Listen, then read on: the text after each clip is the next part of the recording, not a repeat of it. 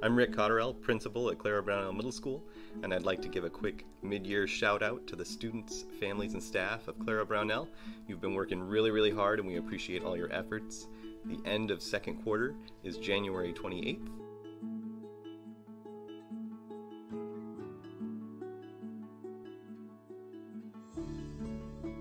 Which means parents, please check in with your students and make sure that they're doing everything they possibly can to pass those classes.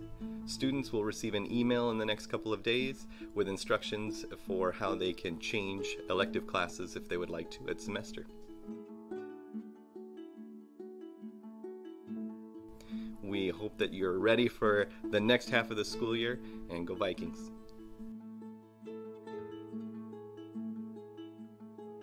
Hello, I'm Ryan Humphrey. I'm the Dean of Students and Athletic Director here at Clara Brownell Middle School.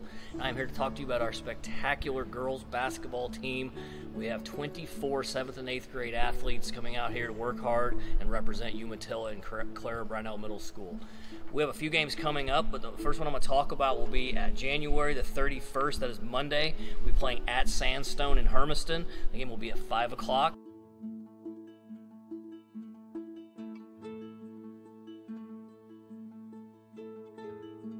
We have several games this season, and our first home game will be February 2nd, Wednesday, February 2nd versus Pendleton. That will be here at 4 o'clock. It'll be our first home game.